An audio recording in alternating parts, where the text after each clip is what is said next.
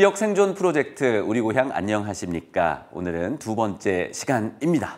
지역의 생존 전략은 지속 가능한 농촌이다. 이 문제를 쉽게 풀어주실 분 모셔봤습니다. 충남대학교 명예교수이신 박진도 교수님이신데요. 이분은 문재인 정권 시절에 초대 대통령 직속 농업 농어촌 특별위원회 위원장을 역임하셨고요. 지역재단을 오랫동안 이끌고 계신 분입니다. 농촌 문제 전문가신데요. 함께 만나보시죠.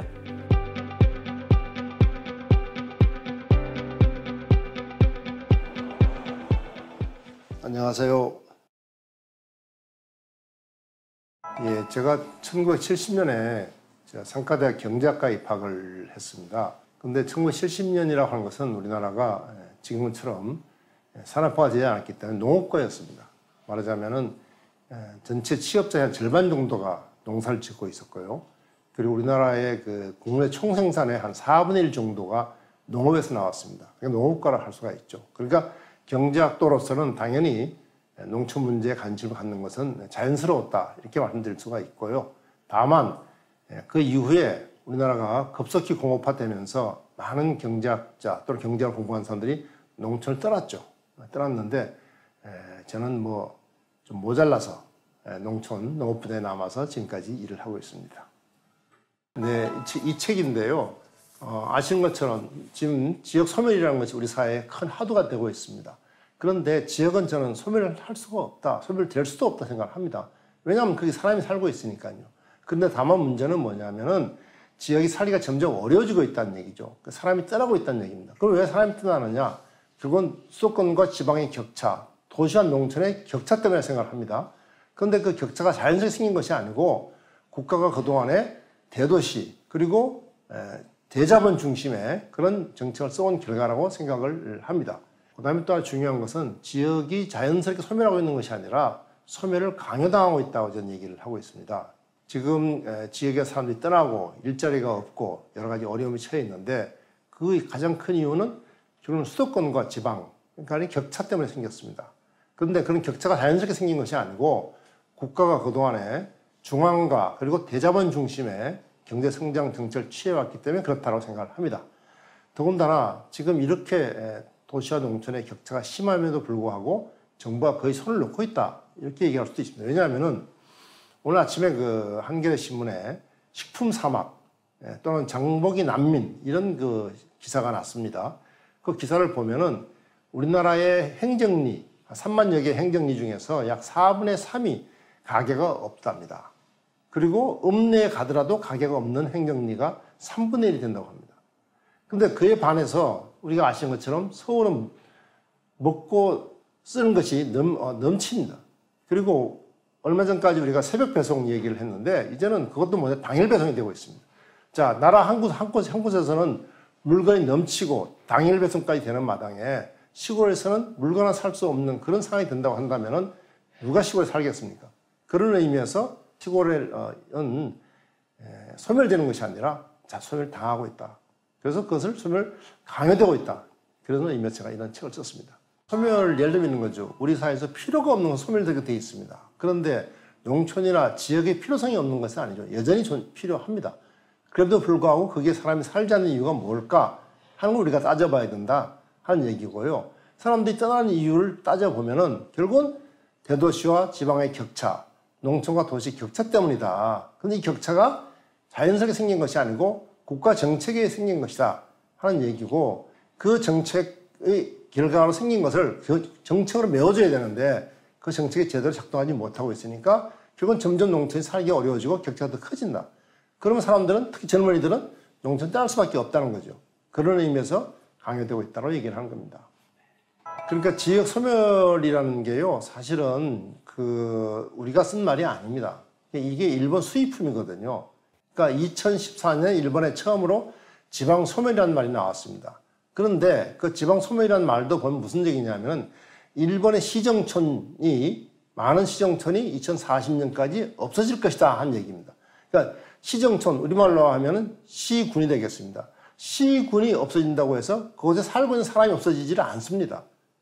그래서 그것을 가지고 우리가 소멸된다 얘기한 것은 옳지 않다. 몇몇 지방자치단체가 합병을 통해서 없어질 것이다.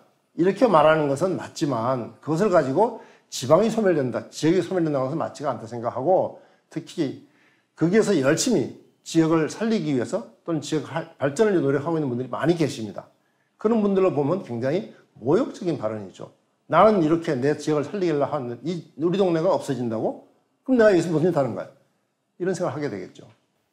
뭐다 하시는 것이 어렵죠. 어, 아까도 말씀하신 것처럼 장보기도 어려운 거고 에, 뭐 시내 한번 나갈라 해도 버스가 하루에 한 번밖에 없어가기 어렵고 또 아이들 학교 보내기도 어렵고 뭐 병원 어, 애 낳을라 해도 뭐 말하자면 산부인과도 없고 다 모든 것이 어려운 게 현실입니다. 그건 뭐 부정할 수가 없고요.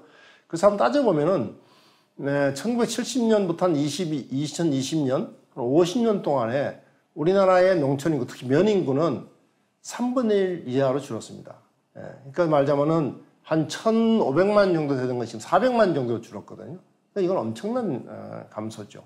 그래서 그렇게 된 여러 가지 이유가 있을 수가 있는데 우선 농촌은 역시 농업이 기반인 곳이잖아요.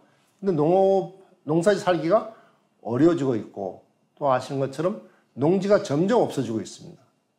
그러니까 어, 농민들이 살 수 있는 기반이 농지인데 농지가 파괴되고 하는 것들이 큰뭐 문제가 되고 있습니다.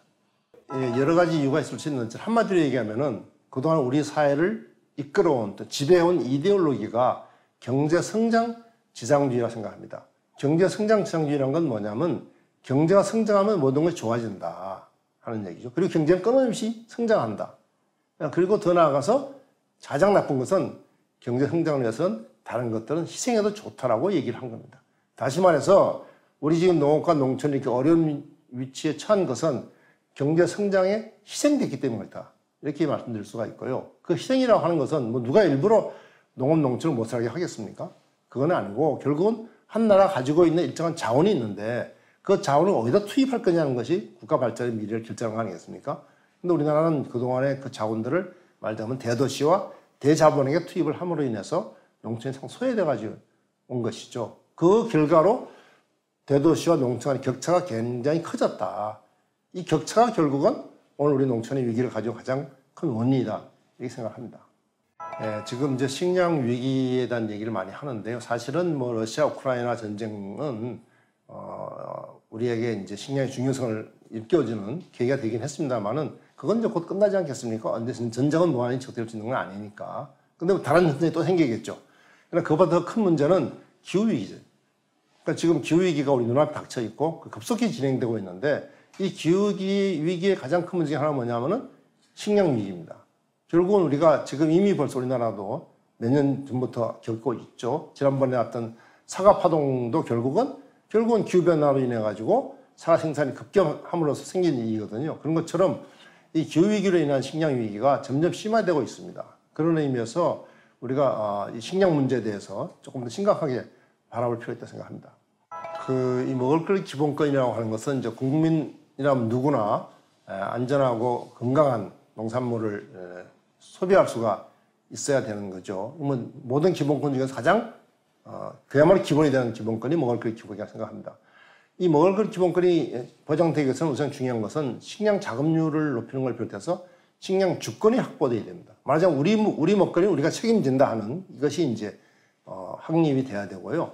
그 다음에 또 하나는 지금 우리가 그동안에 식량을 이 증산하기 위해서 굉장히 많은 그 이 화학 물질 쏘아졌습니다. 비료, 농약, 더 나아가서 농기계까지. 이게 말 전부 다 화석연료를 어, 쓰는 농법입니다. 근데 이 화석연료소 농법은 이제는 지속하지 않습니다. 특히 기후위기가 문제가 되면서 탄소를 어떻게 하면 저감시킬 것이냐는 핵심적인 이슈거든요. 그래서 우리가 이 먹을거리 기본권을 확보하기 위해서는 식량 작업률 높여줄 뿐만 아니라 우리 농업 생산 체계를 지금까지 그런 화석연료 의존한 농업으로부터 친환경 생태 농업으로 바꾸지 않으면 안 된다 하는 것이 이제 이슈가 되겠습니다.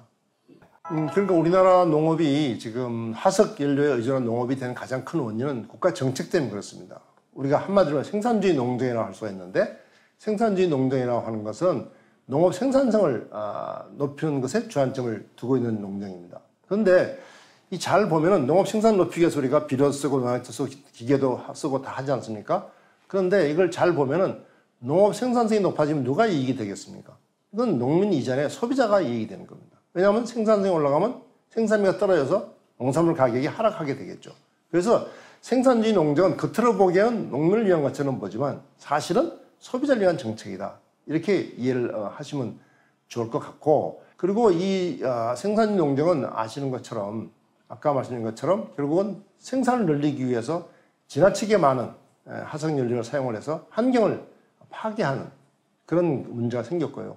또 나아가서는 농촌 내부의 양극화가 심화되었습니다. 결국은 이 생산성을 높이기 위해서 정부가 모든 농민에게 지원하는 것이 아니라 특히 상층농, 대농들에게 집중해서 지원하게 돼 있거든요. 그러다 보니까 농촌 내부에서 어, 못 사는 농민하고 그리고 대농들의 격차가 과거보다 훨씬 커졌습니다. 그래서 이런 그 농정을 지속해 가지고는 우리가 기후 위기에 대응할 수도 없고 농촌 내 양극화도 해소할 수가 없다. 그 저는 그래서 이걸 이제 바꿔야 된다, 이제는. 어떻게 바꾸느냐. 이제는 소위 생산성을 높이기 위해 사용된 농업 보조금 이제 그만 주자. 농민들도 굉장히 많이 얘기합니다. 아, 농업 보조금 그거 가지고 안 된다. 오히려 농촌을 망친다. 심지어 이런 말까지 하거든요. 그래서 그런 농업 보조금을 전면적으로 더 못, 못 한다 하더라도 대폭 줄여야 된다라고 생각하고요. 그리고 그 돈을 가지고 정말로 우리 농업이 나가야 될 올바른 방향. 아까 얘기한 것처럼 친환경 생태 농업을 가기 위한 공익 직부를 늘려야 된다. 그러니까 돈을 더 쓰는 것이 아니라 기존의 농업 예산을 농업 보조금으로부터 농민들이 공익적인 활동을 하는 것에 대해서 직접 지불을 해가지고 농민들 소득도 올리고 농촌도 변화시키는 게 좋다 이렇게 생각합니다. 어, 우선은 그 농민들 그리고 에, 농촌 주민의 생활이 안정돼야 되겠죠. 그 농민들이 에, 그동안에 어, 간행 농업으로부터 친환경 형태 농업으로 전환되는 것에 대해서 그 농업 보조금을 줄여가지고 그 보조금을 가지고 에, 농민 1인당 에, 월 30만 원 이상씩 지불할 수 있다고 봅니다. 현, 현금으로 지불을 하는 거죠. 물론 그냥 주는 것이 아니라 그냥, 그냥 그는 공익 활동을 하는 것에 대해서 돈을 주니까 아무것도 안 사면 받을 수가 없을 겁니다. 그렇지만 농민들은 이제 돈을 주게 되면 그런 활동을 하게 되겠죠. 그게 첫 번째 하나 있고요. 또 하나는 이제 농민만 사는 게 아닙니다. 면 지역만 놓고 보더라도 농민 비율이 40%가 되질 않습니다. 말하자면 농촌 지역의 대부분의 사람들도 비농민이고 비농업에 종사하고 있습니다. 근데 이 사람들이 굉장히 어렵습니다 말이에요. 농촌에 아시는 것처럼 마땅한 일자리가 없다 보니 굉장히 어려운데요. 이런 농촌을 살려가기 위해서 필요한 방법은 뭐냐면 농촌 주민들에게도 수당을 줘야 된다. 왜 수당을 줘야 되느냐? 농촌 주민들이 우리 국토와 그리고 환경과 문화와 지역을 지키고 있기 때문이다. 만약에 그 사람들이 농촌을 지키고 있지 않다고 않고 모두 도시로 몰려온다면 어떤 결과가 생기겠느냐? 그런 의미에서 국토, 환경, 문화, 지역 지킴 수당을 농촌 주민들에게 주자. 이 돈도 마찬가지로 새로운 자원을 필요하지 않습니다. 왜냐하면은 지금 기존의 농업, 농촌 지역 개발 사업이라고 해가지고 또는 지역 개발 사업에서 엄청난 돈이 들어가고 있습니다. 뭐 도로를 닦는다든지 무슨 시설을 아, 한다든지 여러 가지 사업을 하고 있는데 이게 별로 성과를 내지 못하고 있습니다. 그래서 그런 사업들을 말하자면 줄여서 폐지해서 그 돈을 가지고 어, 농촌 주민들에게 주민상을 주면 좋겠다. 그래서 결국은 저는 생각할 때 농민들에게 그런 농민들 공익 활동에 대해서 월 30만 이상의 돈을 현금으로 지급하고 그리고 농촌 주민에 대해서는 국토 환경 지역 지킴이 활동에 대해서 월 30만 원을 준다고 한다면은 그럼 저는 아마 농촌이 지금하고는 전혀 다른 모습이 될 것이다. 그리고 더 한 가지 보탠다고 한다면 그것은 단순히 농촌과 농민만 위한 것이 아니다. 왜냐하면 그것이 지역 화폐로 돌아간다고 한다면은 지역 경제 전체를 살릴 수가 있다. 예를 들면 아까 가게가 없다고 얘기를 했는데 왜 가게가 없겠어요? 물건을 살 돈이 없고 사람이 없어. 그런 동네 돈을 가지고 있으면 그 동, 가게가 생길 것이고 또 말하자면 미장원도 생기고 식당도 생기고 뭐 여러 가지 일들이 생길 것이라는 얘기죠. 그런 의미에서 저는 쓸데없이 말하자면 국가 예산을 농업 보조금이나 지역 개발 보조금을 쓰지 말고 농민과 농촌 주민에게 현금으로 직접 줘라 이런 얘기를 하고 있습니다. 가장 중요한 문제는 이렇게 생각합니다. 이런 모든 것들이 되기 위해서는 결국은 우리 국민들이 또는 정치인들이 농업과 농촌의 가치를 인정을 해야 됩니다. 그렇지 않으면은 왜 그 농촌에 돈을 쓰지? 그게 밑바지에 물 붓기 아니야?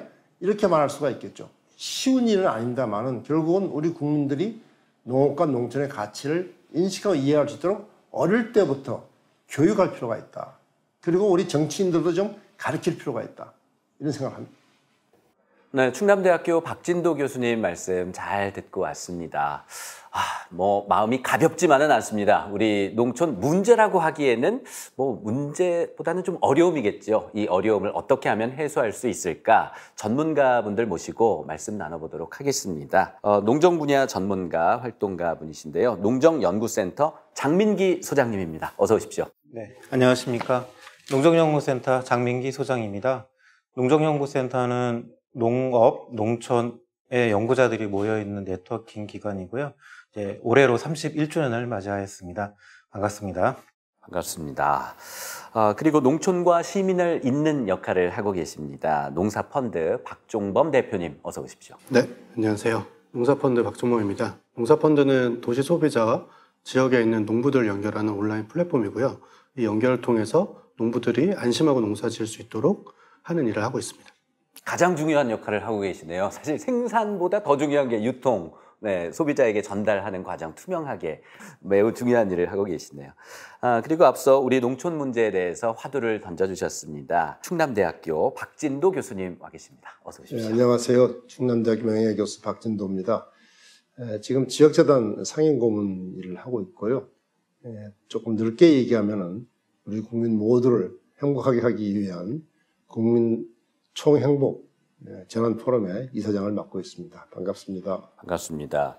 가장 이상적인 모습인 것 같습니다. 학교에서는 이제 학생들을 가르치고 후진 양성하고 이제 사회 참여까지 하고 계시면서 또 국가를 위해서 농정을 위해서 많은 역할을 해주고 계십니다. 어, 장민기 소장님께서는 오랜 기간 이제 농촌 문제에 천착해 오셨는데요. 직접 농민들을 만나는 일도 많으실 것 같습니다. 농촌의 현실 어떻게 진단하고 계신가요? 아무래도 우리나라 농촌의 가장 큰 어려움은 아마 고령화라고 해야 될 것 같습니다. 예전같이 인구가 뭐 들고 나고 하는 그런 상황은 아니고요. 어느 정도 이제 고전된 상태에서 연령이 이제 계속해서 높아지는 그야말로 이제 고령화 현상이 가장 큰 어려움이라고 할 수 있는데 어, 이게 고령화의 그 결과로서 나타나는 현상이기도 합니다만 결국 농촌의 활력이 떨어지는 부분, 그러니까 어떤 새로움이나 어떤 그 활동에 대한 어, 그런 활력, 활기가 떨어지는 것이 가장 좀 어려움이 아닐까 이렇게 좀 생각을 하고요. 또 하나는 그 일반적인 것도 전체적으로 농촌의 인구가 감소하는 것도 있지만 특별히 저희가 이제 원격지라고 해야 될까요? 그러니까 아, 조금 더 이렇게 경계부, 그러니까 뭐 면의 중심지가 아니라 거기로부터 좀 멀리 떨어져 있는 곳, 뭐 산골이라든가 뭔가 좀 그 사람이 살기 좀 어려운 이런 지역 이런 곳들이 훨씬 더 인구가 빨리 줄고 있고 또 그 안에서의 활기가 더 떨어지고 있는 점 이런 것이 가장 큰 어려움이 아닐까 이렇게 생각을 합니다. 네, 박종범 대표님이 만나 뵙고 있는 농민들은 어떤 분들이신가요? 어, 앞에 말씀하신 것처럼 고령자분들이 많습니다. 상대적으로. 그래서 농촌에서 청년이라고 부르는 분들은 이제 60대 중반이 농촌에서 청년인 농부들이고요. 어, 저희가 만나는 농부들도 거의 80%는 고령자 분들이 많으시고 그래도 20% 정도는 청년 농부들이 조금씩 조금씩 생기고 있는 과정이라고 보여집니다. 네. 자, 오늘 이 시간에는 이제 농촌을 위해서 도심에서는 어떤 역할을 할까, 사회에서는 어떤 역할을 할까, 국가에서는 어떤 정책을 펴야 할지 이런 이야기들 오늘 한 시간 동안 말씀 나눠볼 텐데요. 가장 중요한 건 현장이지요. 우리 농민 여러분의 목소리를 직접 가서 들어봤습니다. 어, 실제로 농사 짓는 건 너무 힘들거든요. 농자재, 비료값, 농기구, 기름, 더군다나 일손이 너무나도 어, 많이 딸려가지고 농촌에가 일할 사람이 없어요. 그럼 몇 사람 안 돼? 지금 농, 농, 농사 짓는 사람. 내가 70인데 지금 내, 내가 제일 젊다고 보는. 그 여기는 거의 별을 많이 안 심어요. 이 논에 다 수나 뭐 사료작물이나 특용작물 심지. 쌀값이 없으니까 또 팔지도 못하고. 쌀값은 뭐 한 30년 쌀값 그대로 유지하는데 더 내려가니 이 30년 전에 쌀값보다 더 지금 적다고요. 그러니 변호사가 워낙 기계로 하니까 많이 하니까 쌀값이 많이 떨어져가지고 힘들게 어른들이 힘들게 농사져서 이제 갖고 놓으면은 비가 파괴해서 그리고 가격 가격들이 이제 너무 싸다 보니까 그 가격 문제도 있는 것 같고요. 게 그런 거에 비하면 어, 농촌에 사는 사람들이 도시에 사는 사람들의 소득에 비해서 월등히 적죠, 낮고. 지원금을 더 많이 줘야 도시에 있는 음, 직장이 없는 청년들이 도시로 많이 돌아오지 않을까 이런 생각을 합니다. 정부에서 가격도 안정해줬으면 좋겠고 또 이제 그 전문 사람들이 기농을 좀 해서 어, 열심히 살았으면 열심히 예, 열심히 살았으면 좋겠어요. 노인들 노인들보다 네, 농촌 주민들의 목소리 듣고 왔습니다. 아, 이게 어렵네요. 네, 이제 정말 뭐 단기간에 풀기는 좀 어려운 문제일 것 같기는 한데요. 오랜 기간 이제 농촌 현실을 진단하고 거기에 따른 이제 정책, 방안 많은 부분 제시하시기도 하고요. 실행을 하시기도 했는데 아, 박진도 교수님께서는 어떻게 보고 계신지요? 전 제가 노인이 되다 보니까 고령화 이런 말 듣기, 듣기 싫어요. 네. 어, 왜냐하면은 사실 뭐 60, 65세가 지금 이제 우리 고령화 기준인데 뭐 도시에서 65세 넘은 사람들도 활동을 열심히 잘 하고 있을 뿐만 아니라 농촌에서 60 넘었다고 해서 사실 늙은이 취급하면 안 되거든요. 예, 그분들이 여러 가지로 중요한 일을 많이 하고 있습니다. 그래서 저는 시골에 사람이 없다, 노인밖에 없다 이런 말을 들을 때마다 상당히 어, 불쾌해요. 노인은 사람 아니냐?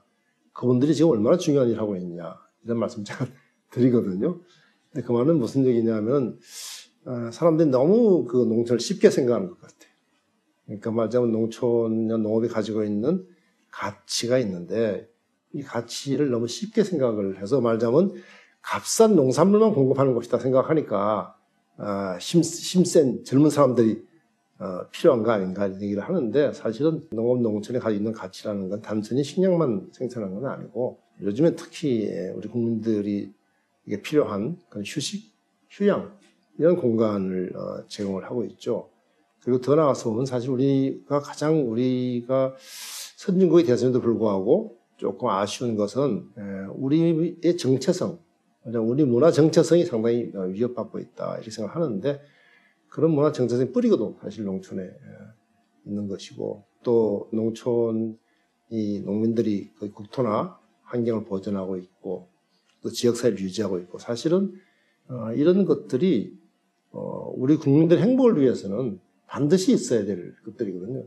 그런 것들 지금 농촌에 지금 지키고 계시잖아요. 네. 근데 그걸 일방적으로 그냥 고령화됐다, 농촌은 어, 뭐 희망이 없다 이렇게 말하는 거는 저는 조금 옳지 않다 생각합니다. 네. 자, 바른 진행을 위해서 오늘 진행자로서 금기어가 많습니다. 고령화 문제 하면 될, 안 될 것 같고요. 왜냐하면 고령화 문제 아니죠. 네, 누구나 다 나이 들어가고 이제 어르신이 될 텐데 고령화 현상 그, 그건 괜찮을까요? 네. 그리고 네, 오늘의 그 우리 타이틀 어, 제목이 지역 소멸인데요. 앞서 기조 발언에서도 지역 소멸 아니다. 지역이 어떻게 소멸하는가?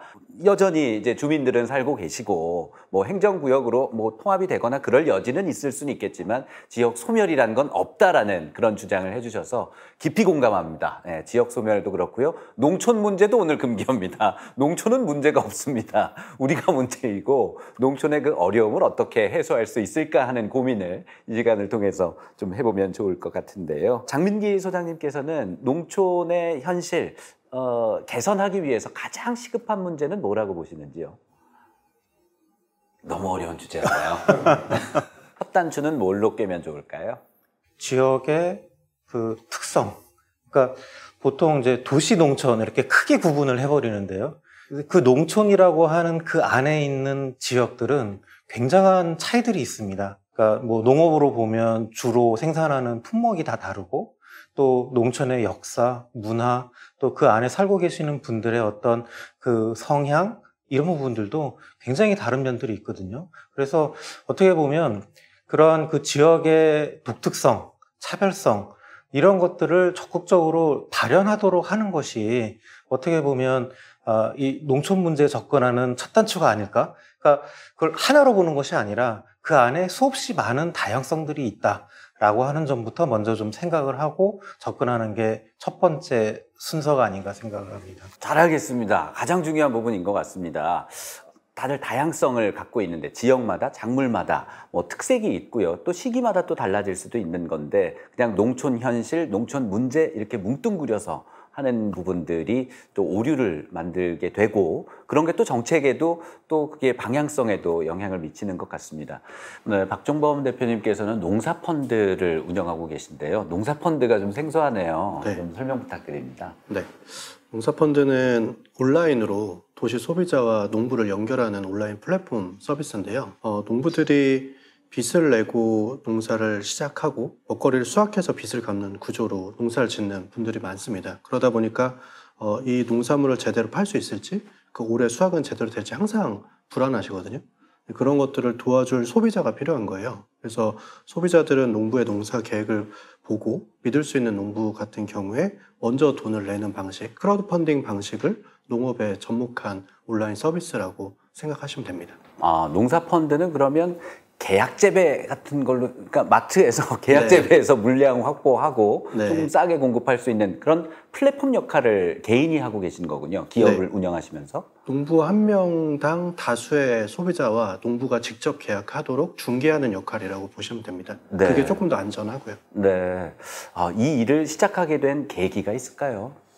어, 쉽지 일단- 않은 일일 것 같은데요. 네. 알고 있던 농부를 우연히 이제 출장 갔다 만났는데 이 농부 같은 경우에 주변에 이제 안전한 농산물을 공급하시겠다고 농약이나 비료 없이 정말 자기 소신대로 열심히 길렀어요. 그런데 그게 시장에 낼 때 보니까 제값을 받지 못하고 뭐 유통할 수 있는 채널도 너무 적고 이런 이제 농부 입장에서의 실패가 계속 반복되다 보니까 이걸 왜 하고 있지라는 생각이 드셨다고 하더라고요. 그래서 아, 이 문제를 좀 누군가는 해결해야 되겠다라는 생각이 들었고 이 농부가 자기 소신대로 기른 농산물이 제값 받고 팔면 그래도 농사 짓는 게 재밌고 계속 농부로서 살 수 있을 것 같았어요. 그래서 아 그러면 이 농부가 기른 농산물이 크고 예쁘고 반짝거리진 않더라도 안전하게 길렀다는 걸 믿고 구매할 수 있는 소비자가 마- 먼저 있으면 농부가 그 소비자들을 믿고 계속해서 농사를 지을 수 있을 것 같아서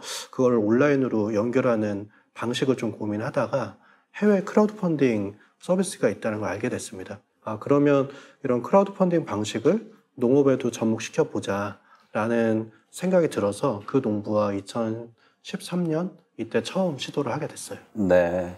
어, 이게 규모의 경제가 농업에도 적용이 되면서 이제 어, 전체 밭을 넓은 걸 이제 계약을 하고 이런 식으로 이제 대형 마트에서는 물량을 확보하고 또 어, 첨가물 센터로 가고 다시 또 도매에서 소매로 내려오고 이런 구조가 현재 정착화돼 있는 것 같은데 이제 선진 새로운 시도인 것 같습니다. 근데 어려움도 정말 많으실 것 같은데 구체적으로는 어떤 작물들 어떤 지역에서 이렇게 거래가 이루어지나요? 이제 전국에 이제 밭농사, 과수농사 하는 농가들이 많이 퍼져 있고요. 저희는 어, 주로 여름에는 이제 복숭아, 자두, 뭐 살구 이런 과실 수확하시는 농부님들도 계시고 고구마나 감자, 강원도 같은 경우에는 감자 농부들도 많이 있습니다. 그리고 지역 아래 지역 같은 경우에는 시금치라든지 이런 해풍 맞고 자랐다라고 이야기할 수 있는 작물들 그런 작물 농사짓는 농부들도 골고루 있습니다. 네.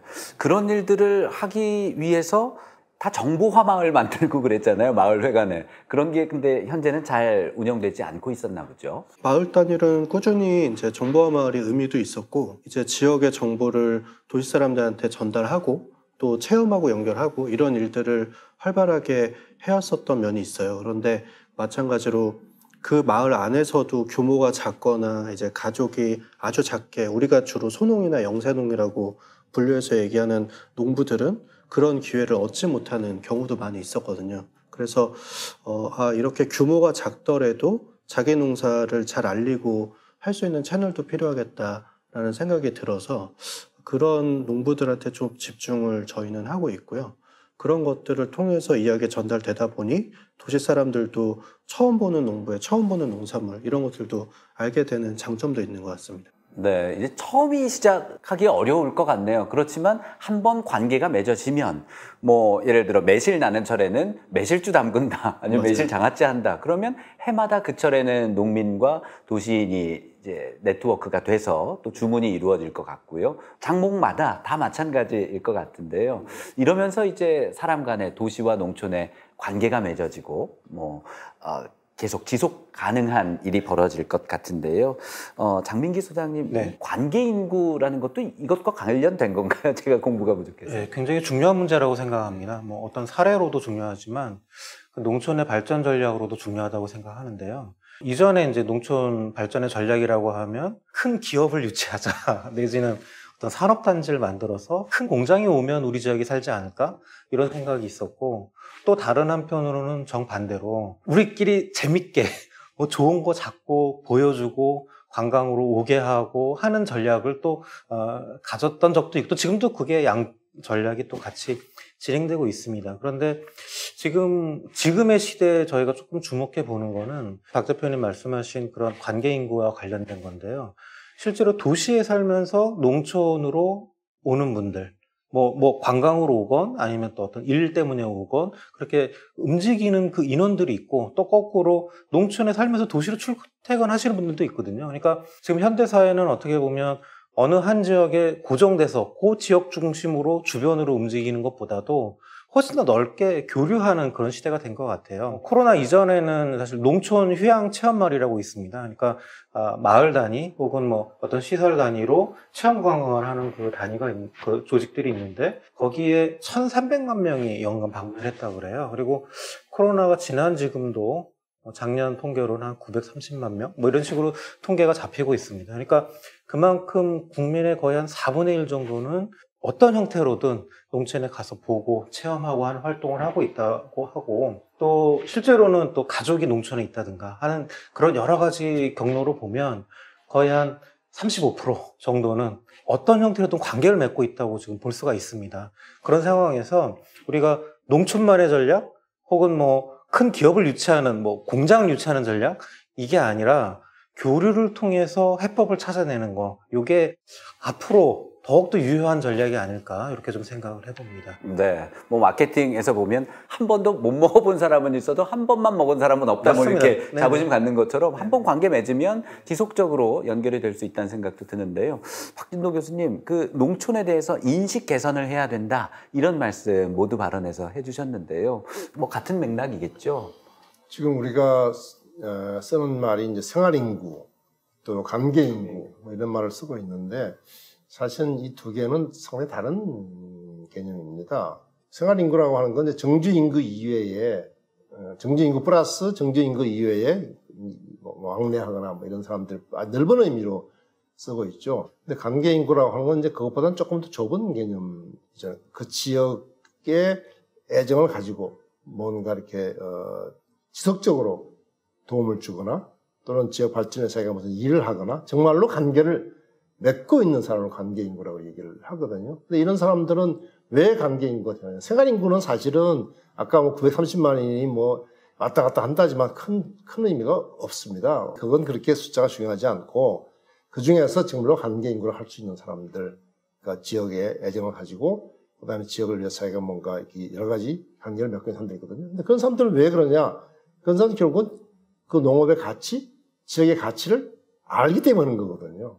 예, 그러니까 그런 의미에서 어, 우리가 단순한 생활 인구보다는 사실은 관계 인구를 어, 늘리는 쪽으로 더 어, 노력할 필요가 있다 고 생각합니다. 네, 이제 농촌에서 사람들 이제 생활의 터전이기도 하고요. 그곳에서도 이제 많은 사람들이 거기서 자식을 기르고 교육시키고 또 경제 활동을 할 텐데 가장 중요한 게 이제 경제일 것 같습니다. 수익이 그만큼 나와야 될 텐데 농촌의 본질은 어, 농산물을 생산하는 것일 텐데요. 이 팔로 안정화시키는 방안으로는 어떤 게 있을까요?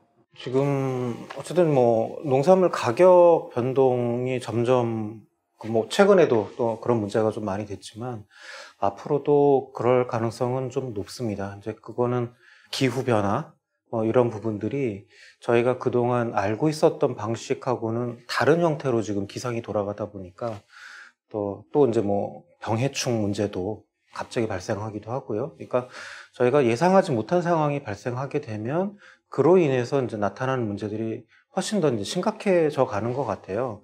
그래서 아, 마지막 단계에서 가격을 어떻게 잘 조정하고 그 안전판을 만드는 것도 또 중요하지만 어떻게 보면 그걸 생산하는 단계, 그야말로 농촌 현장 단계에서부터 조금 더 작물을 다양하게 재배될 수 있도록 하는 여건을 조성하고 또 그런 것들을 통해서 그 쏠림, 사실은 이게 가격이 좋은 작물로 이렇게 다시 모였다가 또 아니면 또 다시 바꿨다가 이런 것들도 있기 때문에 언젠가 뭐 파프리카가 잘 된다면 파프리카 네. 하고요. 네네. 네. 네. 그래서 결국 그런 어떤 안정적인 생산 방식, 생산 구조를 만들어내는 거 이거로부터 사실 좀 출발해야 되지 않을까라고 생각을 좀 합니다. 농산물 가격 안정제라는 표현 할 때는 그게 제도란 얘기인데요. 그러면 병해충에 의해서 어떤 뭐 흉작이 됐다라고 했을 때는 정부에서 지원하는 방법밖에 없을까요? 보전하는 방법으로요. 일차적으로는 뭐 그게 가장 확실한 방식이라고 생각을 합니다. 그리고 뭐 또 요즘 뭐 수입보험 뭐 이런 형태로 해서 그러니까 어느 정도 이제 그 참여하시는 농업인들도 가격 변동에 대해서 대비할 수 있는 안전장치를 만들어 만드는 거 이런 것도 뭐 필요한 하나의 부분이라고 할 수 있겠습니다. 네, 그 농작물 보험 제도가 있어도 가입을 별로 많이 안 한다 이런 뉴스를 접한 적이 있었는데 그거는 왜 그런 일이 발생하나요? 그러니까 재해, 그러니까 보통 이제 대부분이 이제 현재는 재해보험 중심인데요. 그 재해보험이라는 게 발생을 해서 수혜를 입게 되면 굉장히 소중하지만 발생을 안 하면 이게 별 효과가 없는 예, 그런 형태가 되지 않습니까? 이제 그런 면에서의 어떤 그런 어, 좀 판단, 그러니까 해야 될까 말해야 될까 이제 이런 거에 대한 그 판단도 있는 것 같고요. 그리고 또 그 조건이 또 있습니다. 그 재해로 판정을 받아서 그 보상이 나오는 그 조건들이 있는데 그런 부분들이 현장에서 이렇게 체감하는 부분하고는 좀 어, 다른 면도 있습니다. 그러니까 약간 그 여러 가지로 이제 많이 개선되고 또 그런 조건들이나 이런 것들이 완화는 됐습니다만 예, 그런 부분들이 좀 체감상으로 좀 어, 어, 다른 부분들이 있다 보니까 또 품목에 따라서 또 차이도 있고요. 그래서 아마 그런 격차들이 조금씩 있는 것 같습니다. 네, 장민기 소장님께서는 유하게 말씀해 주셨는데 이제 적용받기에 까다롭군요. 현재까지는 예, 지금은 좀 많이 보완이 되기는 했고 하지만 네. 농산물 가격 안정 및 농업 경영 안정 뭐 이렇게 얘기를 할 수가 있는데 사실은 뭐 농산물 가격이 안정되는 것은 소비자를 위해서도 생산자를 위해서 다 필요한 일이거든요. 예, 그거는 지금 우리 장민기 소장도 얘기했지만 농산물이라고 하는 것은 특히 기후라든지 이런 또 병충해 이런 데에 민감하기 때문에 가격 변동이 심할 수밖에 없습니다. 그건.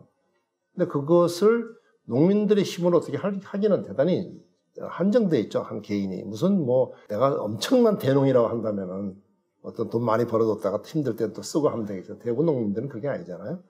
그래서 국가의 역할이 대단히 중요하죠. 그래서 지금 말씀하신 것처럼 예, 재해가 생겼을 때에 그 보험의 형식을 할 수도 있고 그 다음에 또 보상을 할 수도 있고 근데 그보다 더 중요한 건 가격을 안정시키는 거죠 네, 앞서 이제 농작물 재해보험의 경우는 이제 가입률이 떨어지는 부분은 그만큼 농촌의 경제 여건이 어렵다고도 볼 수 있겠네요. 저희도 보면 가장 어려우면 보험 먼저 해약하잖아요. 어려울 때는 그런 것처럼 최소한의 보장을 위한 장치조차도 낼 수 없을 정도로 어렵다라는 인식도 할 수 있을 것 같고요. 그리고 이 부분에 대해서는 박종범 대표님께서 가장 민감하게 경험하고 계실 것 같습니다. 왜냐하면 농사 펀드를 조성했을 때 그 가격을 소비자들이 어, 보전을 할 것인가 하는 부분이 굉장히 민감할 것 같은데요. 네. 저희가 항상 매년 고민하는 것 중에 하나는 어느 정도까지 예약을 받는 게 안전한가예요. 그러니까 한 농가가 생산하는 양이 100이라고 쳤을 때 한 2, 3년 전까지만 해도 80%까지 받아도 대비가 가능했거든요. 그해 수확량이 조금 부족하더라도 농부가 책임질 수 있는 양이 수확이 되고 했었는데 어, 최근에 2, 3년 동안은 사실 그 우리가 예약받는 퍼센트를 더 낮출 수밖에 없었습니다. 그러니까 생산량이 100이면 70%까지만. 왜냐하면 언제 어떤 변화가 일어날지 모르니까 수확량이 그만큼 안 될 수도 있고 갑자기 말씀하셨던 것처럼 수해를 입어서 생산이 전혀 안 될 수도 있고 이런 문제가 예전보다 훨씬 빈번하게 일어나기 때문에 그런 것, 그런 거에 대한 농부와의 계획을 세우는 게 되게 사실 어려운 일이 돼버렸고요. 예측하지 못하는 것들. 그러다 보니 가격에 대한 부분도 어느 정도를 받는 게 농부와 소비자한테 둘 다 적정한가에 대한 것도 항상 고민을 하고 있어요. 이제 어쩔 수 없이 이 재해를 통해 재해를 입어서 약속한 농산물을 보내주지 못하게 됐을 때 그거에 대한 선택권을 이제 소비자한테 이제 선택지를 주는 방식으로는 대응을 하고 있습니다. 첫 번째는 어 내가 먼저 예약을 한 거를 받지 못했으니까 그거를 환불 받는 방식이 하나가 있고 두 번째는 이 농부가 어쨌든 어 내년에도 농사를 지어야 되는데 이 위기를 잘 넘어서야 되잖아요. 그런 비용으로 쓰게끔 기부하는 방식 이렇게 두 가지를 선택할 수 있도록 제안을 하고 소비자가 거기서 선택을 합니다. 저희가 통계를 내보면 80%의 소비자는 환불을 신청을 하시고 20% 소비자는 그래도 아, 이 농부가 없어지면 여기서 이제 농부가 회복하지 못하면 원래 내가 먹던 걸 먹지 못하게 되니까 농부가 잘 회복하는 것도 중요하다 생각하시면서 기부하는 분들도 계세요. 그래서 이거는 궁여지책인 것 같긴 하지만 그렇게 지금은 저희는 대응을 하고 있습니다. 뭐 가격 문제도 또 있지만요. 이제 아까 제가 말씀드린 것처럼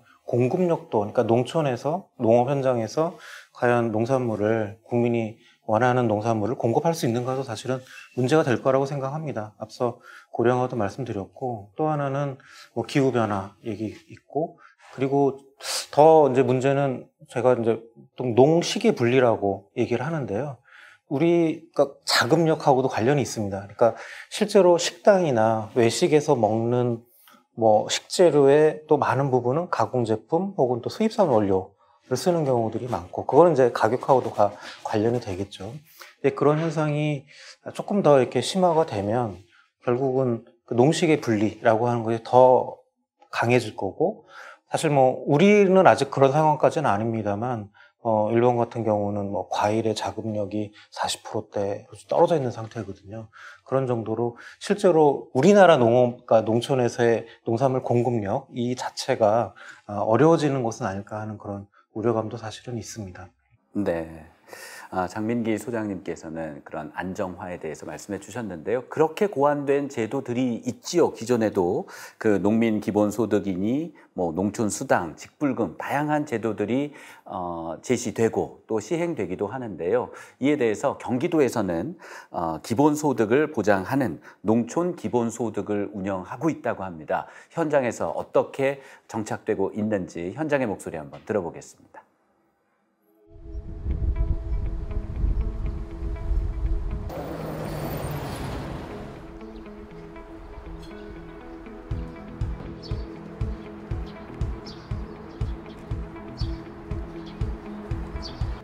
경기도 농촌 기본소득은 지역 소멸 우려가 있는 농촌 지역을 대상으로 국가 균형 발전을 위해서 새로운 농촌 정책으로서 2022년에 시작하여 2026년까지 실시하는 제도가 되겠습니다.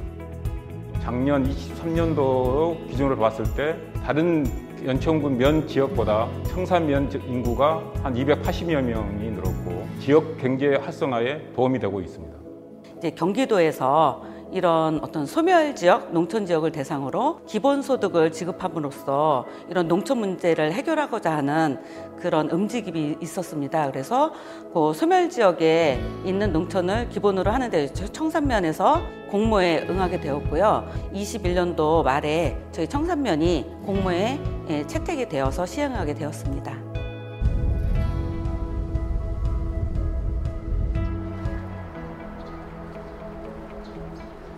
사람이 살다 보면 아플 때가 있어요. 그러면 병원도 가고 약도 사고 제가 여기 영업을 하다 보니까 또 장도 많이 보고 가끔 가다 또 미용실도 가고 네, 여러모로 참 잘 활용하고 있어요. 코로나로 인해 가지고 여기가 어, 침체돼 있었거든요. 사업도 안 되는 거냐 완전 어려웠었는데 이 농촌 기본소득 이 실행을 하면서 농촌에 어려운데 도움 많이 됩니다. 청산면으로 이사를 하게 된 이유는 음, 제가 경기 북부권에서 활동을 좀 자주 했었고요. 그리고 이제 들어오는 그 시점에 그래서 경기도 농촌 기본 소득 사업을 하더라고요. 이게 매달 15만 원씩 주는 건데 아 이거 안정적으로 뭔가 좀 자리 잡을 수 있지 않을까라고 하는 그런 어, 계기가 좀 됐었어요. 그래서 이쪽 지역에 이주하게 됐습니다. 아이하고 저하고 같이 받고 있는데 아이가 학원을 다니겠다 그래서 학원비가 좀 나가고 있고요. 도시처럼 도시가스가 있는 곳이 아니고 기름 보일러나 뭐 다른 연료 체계로 이제 난방을 하고 있는데 겨울에 난방비에 엄청 큰 도움이 되고 있습니다. 예. 네, 농촌 기본소득이 적용되고 있는 경기도 연천군의 어, 청산면 어, 목소리를 듣고 왔습니다. 어, 지금 뭐 처음 시도돼서 좀 희망도 많이 갖고 있는 것 같고요. 이 제도에 대해서 좀 더 설명을 해주신다면요, 박진도 교수님. 예, 지금 농민들이 에, 그 농업 생산 이외에 벌어들이는 돈들이 있지 않습니까? 이전 이전 소득이라고 많이 하는데 그 지자체가 주고 있는 농민 수당이 있습니다. 이 농민 수당은 거의 지금 많은 지자체들이 뭐 9월 5만 원 주기도 하고 좀 더 주기도 하고 이제 그런 것이 있고요. 그다음에 국가가 이제 요즘 공익 직불이라고 해가지고 어, 농민들에게 이제 지금 3조 조금 넘는 걸로 알고 있습니다.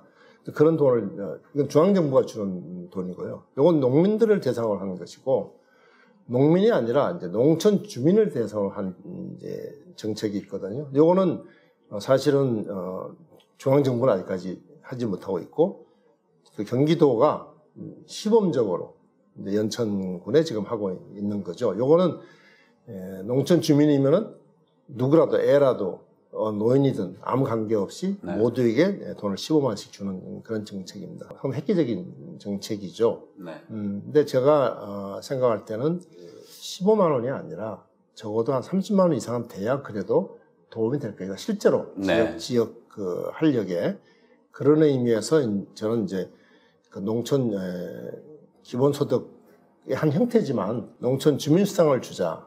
근데 주민수당을 왜 수당이라는 표현을 쓰고 있느냐 하면은 기본소득 그럼 사람들이 그러냐? 뭐 무조건 그냥 아무 묻고도 안 해도 돈 주는 거냐? 그건 뭐 재산 낭비 아니냐? 이런 말을 쓸 수가 있기 때문에 저는 이제 농촌이 주민들이 농촌에 살면서 하는 국토나 환경이나 문화나 지역을 지키는 그런 역할을 하고 있다. 그렇기 때문에 수당을 줘야 된다. 네. 하는 얘기고 또 그런 역할을 더 잘해라. 네. 하는 의미에서 수당을 주자는 얘기고 그리고 그 돈은 별도로 마련할 필요 없다. 지금 말하자면 지역개발이라는 이름으로 잘못 사용되고 있는 아주 어떻게 보면 지역개발이 아니라 지역을 망치고 있는 예, 그런 예산들을 어, 줄여서 농민들에게 농촌 주민들에게 주자는 얘기거든요. 네. 그러니까 지금 예, 거기에 또 하나 이제 다른 표현에서 얘기하는 것은 농민 기본소득이라는 말도 쓰고 있죠. 그것은 농민이면 누구에게나 어, 모두에게 말하자면 똑같이 또 소득을 주자 이런 주장도 또 한편에 또 있는 건 사실입니다. 그래서 저는 어, 개인적으로는 아까 대담 때도 얘기했습니다만은 농민들에게는 농민이 공익적 활동을 하도록 하고 그래서 거기에 대해서 직접 지불을 해라. 활동 활동 안 하면 안 못 준다. 해라. 그래서 네. 친환경 생태 농업을 가지 않으면 우리 농업 미래가 없으니까 그걸로 가라. 그럼 돈 국가가 밀어줄게. 왜냐하면 실제로 국가가 밀어주지는 못하는 일이니까 그거 하고 지금 농촌에는 사실 뭐 어, 너무 피- 피 폐되잖아요. 피폐돼 가지고 지금 상태에서 뭐 공장을 유치해 산업단지 들어오니 이건 다 말이 안 되는 얘기이기 때문에 일단 그 농촌 주민들이 하고 있는 역할에 대해서 수당을 지불해서 그분들이 정말로 농촌에 살 수 있도록 해야 어, 지역 경제 살아간다. 네. 이런 취지로 말씀드리고 있습니다. 실제로 아마 연천군의 경우도 15만 원이긴 하지만은 그것이 상당히 어, 지역 경제 활성화에 도움이 되고 있는 걸로 어, 알고 있습니다. 공익 직불에 대해서도 조금 말씀을 드려야 될 것 같아요. 그러니까 지금 이제 화제로 오른 거는 이제 지자체에서 하는 지역 민에 대한 주민에 대한 그 수당이라고 할 수 있는데 사실 그 공익 직불도 농업인을 대상으로 합니다만 그러니까 농지를 기반으로 한 기본 직불이 있고요. 그리고 어, 선택 직불이 있습니다. 뭐 말씀하셨는데 친환경 농업을 한다든가 또 경관 농업을 한다든가 이런 형태로 지역에서 조금 더 이렇게 공적인 기능을 할 수 있는 것들을 선택적으로 할 수 있는 그런 어, 부분이 또 있습니다. 그러니까 어떻게 보면 그게 지금은 다 이제 국가의 목적으로 하고 있지만 그걸 지역에서 스스로의 어떤 특성을 발휘할 수 있는 그- 그런 형태로 조금 더 설계를 좀 잘 해준다면 그것도 유용하게 쓸 수 있기 때문에 지금 새롭게 만드는 그 단계에서 굉장히 좀 중요한 논의거리가 아닌가 이렇게 생각을 합니다. 네, 장민기 소장님께서는 공익직불금까지도 말씀을 해 주셨는데요. 네, 지역 MBC 여섯 개 회사가 공동으로 마련한 어, 지역 생존 프로젝트 우리 고향 안녕하십니까 진행하고 있습니다. 두 번째 어, 순서로서 이제 농촌에 대해서 우리가 이야기 나누고 있는데요. 결국은 이제 인구 감소에 대응하기 위한 방편으로서 방법으로서 우리가 고민을 하고 있는 겁니다. 어, 그렇다면 결국 이제 농촌으로 인구가 유입되고 거기서 경제 활동을 할 수 있게 해야 될 텐데요. 은퇴 연령의 기성 세대가 유입될 수도 있긴 하지만 좀 더 어, 활기가 있도록 하기 위해서는 청년 인구가 유입되면 가장 좋을 것 같기는 하거든요. 이 가능성에 대해서는 어, 박종범 대표님께서는 어떻게 보시는지요? 청년들이 스스로 아 내가 지역에 쓰임이 있구나라는 걸 느끼는 게 중요한 것 같아요. 내가 농촌에서 무엇을 해야 되지라는 막연함이 사실은 행동으로 이어지는 걸 방해하고 있다고 생각을 하거든요. 청년들이 내가 지역에서 나의 역할이 과연 지역에 있을까? 농사 짓는 거 말고도 내가 지역에서 뭔가를 할 수 있을까? 이런 것들에 대한 시도를 해보고 그걸 통해서 본인이 아 나는 지역에서도 충분히 내 일을 할 수 있어 혹은 아 나는 지역에 맞진 않지만 그 주변에서 지역 사람과 뭔가 교류하면서 계속 뭔가를 할 수 있어 이렇게 느낄 수 있게 기회를 제공하는 게 무엇보다 중요하다고 생각을 합니다. 그래서 작년 재작년에 이제 농림축산식품부랑 같이 진행했던 시골 언니 프로젝트라는 프로젝트도 사실 청년 여성을 대상으로 지역을 탐색하는 농촌을 탐색하는 프로젝트였어요. 왜냐하면 내가 지역에서 정말 나의 일거리가 있을까? 혹은 내가 선택한 그 지역이 나를 정말 반겨주고 안전하게 보호해줄 수 있을까? 이런 것들에 대한 두려움이 너무 크거든요. 특히나 국내 이제 귀농귀촌 여러 가지 지원이나 정책들은 남성의 대농 중심으로 설계가 돼 있었습니다. 그러다 보니까 땅이 없거나 혹은 내가 농사 지을 수 있는 어떤 기반이 없는 사람이 농촌을 탐색하고자 하는 루트는 되게 제한적이더라고요. 그래서 그런 청년들도 비빌 지역에 자기를 보호해줄 언니를 통해서 저희 표현으로는 비빌 언덕이라고 표현을 하는데 그런 비빌 언덕을 통해서 지역을 탐색해 탐색할 수 있는 기회를 열어주는 것만으로도 어, 굉장히 큰 성과가 있었어요. 실제 일주일 또는 10일 정도 지역을 탐색한 후에 그 다음 연도에는 그런 시골 언니 기획단으로 같이 활동하는 친구도 생겼고 1년을 연장해서 그 지역에 살아보는 청년 여성도 생겼거든요. 그래서 이렇게 자기의 쓸모, 지역에서 자기의 쓸모를 탐색할 수 있는 기회를 열어주는 게 어, 지역 소멸의 하나의 중요한 방법이라고 저는 생각합니다. 네, 농촌에서 다 농업을 해야만 하는 건 아니니까요. 다양한 일들, 일자리들 혹은 뭐 창직을 할 수 있는 일들이 있을 텐데 구체적으로는 여성들이 지역으로 내려가서 어떤 일들을 좀 탐색을 했나요? 네, 어, 농업하고 가까운 부분에서는 아까 박진도 이사님도 말씀하셨지만 생태 농업을 지역에서 꾸려, 꾸려가는 조직이 있었어요. 거기에 속해서 이 생태 농업을 자기네들끼리만 하는 게 아니라 도시에 사는 사람들 초대해서 이런 방식의 농사 방법으로 내 텃밭을 가꿀 수도 있다라는 것들을 교육 컨텐츠로 제공하는 방식도 있었고 그거는 농사에 대한 아주 높은 기술을 요구하는 게 아니라 그것들을 교육 방식으로 풀어내는 기능적인 요소들이 훨씬 중요한 역할이거든요. 그 청년 여성은 그런 부분에 되게 특화돼 있었던 거예요. 그래서 그 부분에서 농사를 잘 짓는 지역의 농부님과 그걸 교육으로 바꿔서 도시 사람들한테 그 안내하는 안내자 역할로서의 기획자 역할을 하면서 지역에 정착을 하는 케이스도 있었고 혹은 농업은 아니지만 어, 지역의 숲에 들어가서 명상을 하거나 치유를 하는 프로그램을 운영하는 역할을 그 지역에서 원래 그 친구는 도시에서 그 요가나 명상에 대해서 되게 관심 있고 오랫동안 그것들을 수련해 온 친구였는데 아 이게 도시에 꽉 막힌 빌딩 안에서 하는 것보다 지역에 갖고 있는 자원이 이걸 훨씬 더 잘할 수 있게 도와주는구나를 그 탐색을 통해서 알게 된 거예요. 그래서 이제 뭐 울주라든지 혹은 충북의 괴산이라든지 이런 숲을 가지고 있는 지역에 가서 그런 역할을 하는 청년도 생겨나고 있습니다. 네. 자, 이번에는 마지막으로 행정적인 부분에 대해서 좀 말씀 나눠볼까 합니다.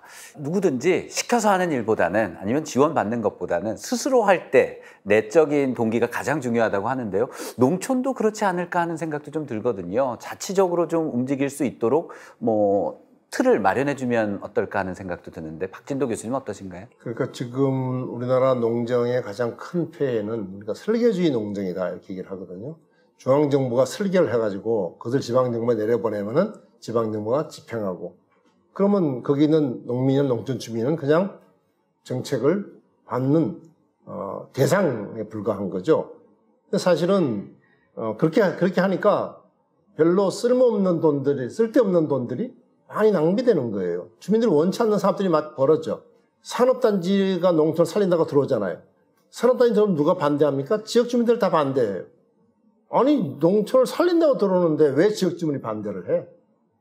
그런 것처럼 실제로 이 농정이 진행되는 과정에 있어서 주민들이 단순한 수혜랄까 뭐 서비스에 받는 사람이 아니라 자기들이 뭔가 자기들의 운명을 결정할 수 있는 결정권이 있어야 되거든요. 그런 의미에서 본다고 한다면 지금 우리는 전혀 없는 것이죠.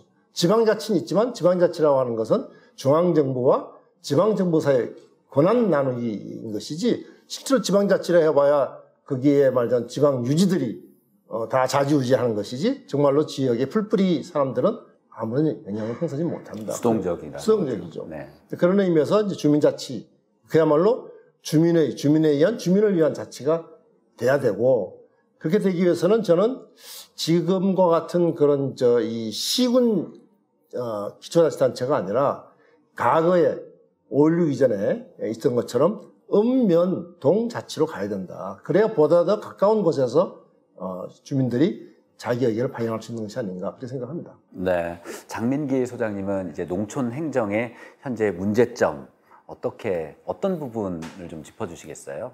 앞서 이제 박진도 원장님도 말씀하셨습니다만 그 지역의 자율성 또 지역 스스로의 계획, 기획 이게 굉장히 중요한 요소라고 생각을 합니다.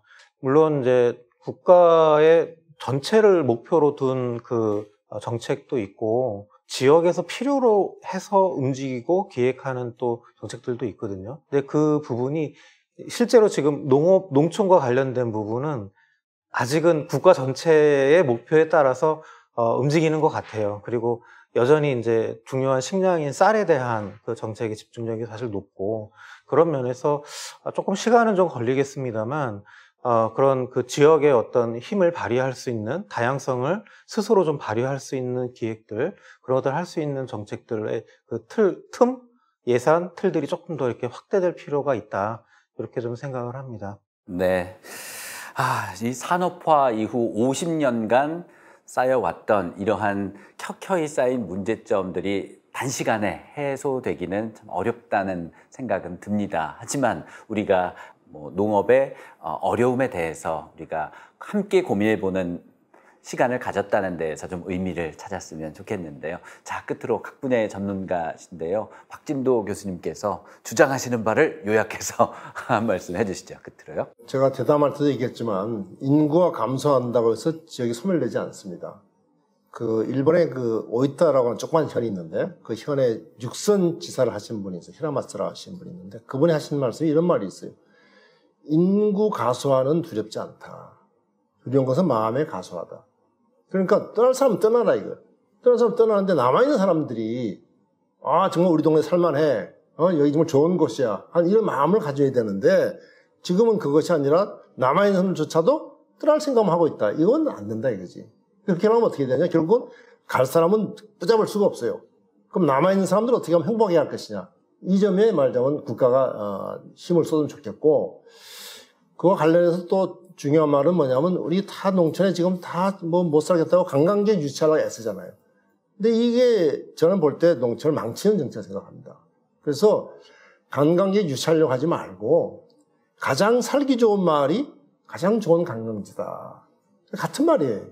그걸 말하자면 거기 있는 사람들이 자기 마을에 대해서 자긍심을 가지고 행복하게 살도록 해주는 것. 이것이 지역 소멸을 막는 가장 중요한 해법이라고 생각합니다. 네. 자, 장민기 소장님. 사실 아까 앞서 제가 맨 처음 서두에서 그 고령화 금기어라고 하셨는데 네, 말씀을 드렸는데 결국 이제 지역의 활력으로 또 누가 누가 일을 하고 누가 활동을 하고 누가 지금 이 지역의 어떤 그런 자원 갖고 있는 것들을 발현할 것인가 누가 할 것인가에 대한 그 문제가 사실 있어요.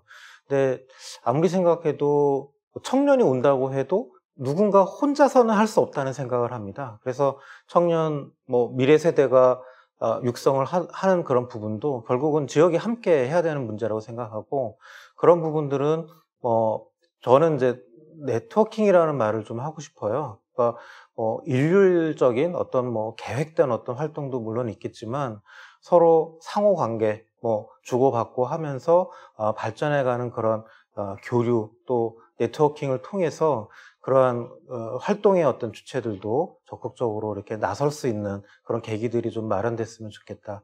또 그런 것들이 결국 정책적으로 뒷받침을 해야 된다라고 하는 생각을 합니다. 그리고 끝으로 박종범 대표님께서 네. 말씀해 주시죠. 도와주려고 하지 말아야 될 것 같아요, 저는. 어, 농부를 도와주자라는 표현을 되게 심심치 않게 보거든요. 팔아야 되는 숙명 때문에 그게 또 잘 먹히기도 하고요, 사실은. 마케팅 용어로. 사실 그렇게 될수록 누군가는 되게 도와줘야 되는 대상이 돼버리고 거기 사는 사람들은 도움을 받아야만 살 수 있는 사람이 되는 거잖아요. 사실 그러면 가고 싶은 곳이 안 될 것 같아요, 저는. 그런 곳이라면. 그래서, 어, 사실은 반대로 생각하면 사실 농부가 있기 때문에 저도 하루하루 먹고 살 수 있고 생명을 유지할 수 있는 거고, 그에 대한 합당한 비용을 저는 농부한테 제공, 그, 준다는 방식으로 이해를 해야 된다 생각을 하거든요. 그래서 누가 누를 돕는 게 아니라, 아, 농부는 농부의 역할을 충분히 지역에서 잘 하고 거기에 대한 합당한 대우를 받아야 되는 거고, 우리도 그에 대한 정당한 대가를 지불해서 감사하게 먹거리를 먹어야 되는 거고, 그게 저는 출발이라고 생각합니다. 그래서 우리가 먹는 거에 대해서, 어, 정당한 대가를 나는 지불했고 그 사람도 그만큼의 자기 역할을 한 거다라고 보는 게 첫 번째 시작인 것 같습니다. 네, 세 분 말씀 들어보니까 우리의 인식 개선 뭐 쉽지 않겠지만 과거에 농자 천하지 대본 뭐 이렇게 표현했을 정도로 우리가 먹는 것, 먹을 거리, 농업이 가장 근본이다. 이렇게 생각했던 어, 우리 민족, 우리 국가였는데 이제 어, 상공업 중심으로 그리고 고도 산업화 되면서 이제 농업에 대해서 인식이 좀 낮아지고 평가절하된 부분이 이런 결과를 초래하지 않았나 하는 생각도 함께 해보게 됩니다. 우리 농업에 대한, 농촌에 대한, 농민에 대한 인식을 좀 더 달리 하는 게 좀 출발점이 아닐까. 그리고 또 스스로도 자긍심 가지셨으면 좋겠습니다. 그렇게 또 정부에서 지원도 있어야 될 것 같고요. 네, 오늘 이렇게 이야기 나눠봤는데요. 편지가 갑자기 도착했습니다. 아, 농촌 예찬의 진심이신 분인데요. 서울시립대학교 정석 교수님의 정쌤의 로컬에서 온 편지입니다. 만나보시죠.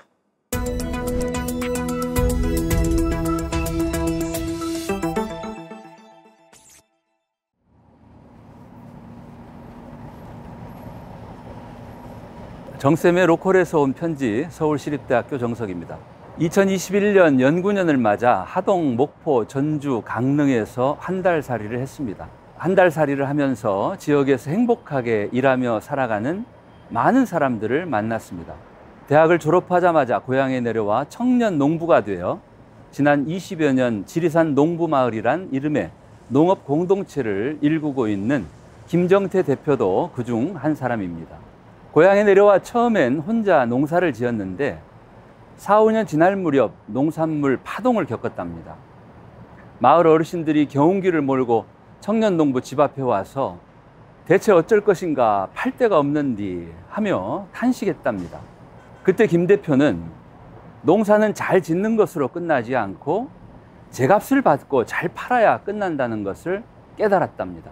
그런 깨달음으로 진옥마, 지리산 농부마을 협동 영농조합을 만들었습니다. 대한민국에서 농사 짓고 사는 일은 쉽지 않습니다. 수많은 직업 가운데 농업인으로 살아가는 것은 매우 힘든 선택입니다.